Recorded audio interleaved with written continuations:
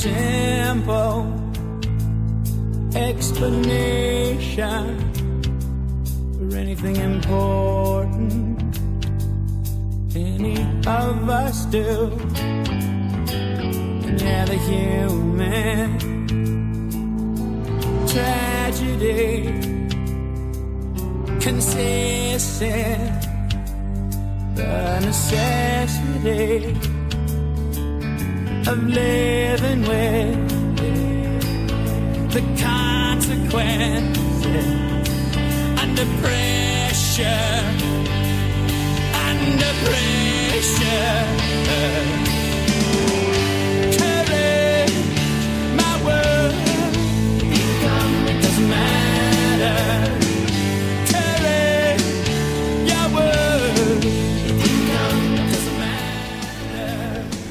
Make sure the kids are safe. Make sure they're home and safe. Every once in a while, get out and take a walk. Make sure the kids are safe.